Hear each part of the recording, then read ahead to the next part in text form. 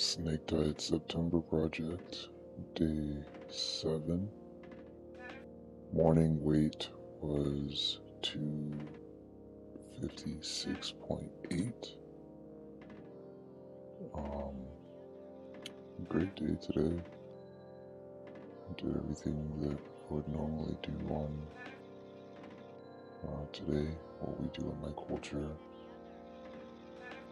Uh, cooked, worshipped. No side effects or anything. Feeling, feeling great actually. And then I did my weight training. Now, as far as the weight training went, um, I didn't. I was motivated, but my body would only allow me to do two rounds of what I did. And then when I even returned back to the bench press, I was my muscles and my legs and my, my arm were already starting to shake. And usually that's when I'm at my max on something. And I didn't want to risk trying to bench the bar without somebody spotting, so I didn't record any weights or repetitions today because I was not able to do as much as I thought I was going to do. So that was interesting.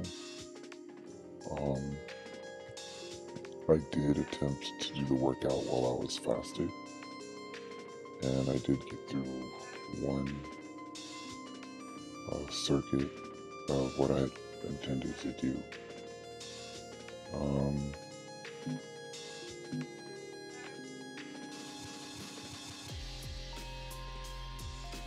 Yeah, not really much to say about today. Um, but it was a good day. I had a fruit bowl. Uh, of course, that probably takes me into ketosis or whatever, but I ate majority of my food within a three-hour window. Um, the meat and the vegetables that I had was lamb, and it was bok choy and carrots and broccoli and um, cumin, uh, some peppers, jalapenos, serrano. Uh, no dairy or any sort of anything today. Also had some fruit juice. I believe it did have cranberry juice in it. Uh, but it was mainly fresh squeezed juice.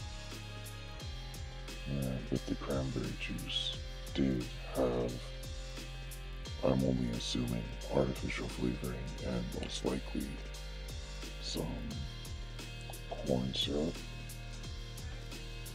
but I didn't check the ingredients. I didn't really look at anything. I just accepted it and enjoyed.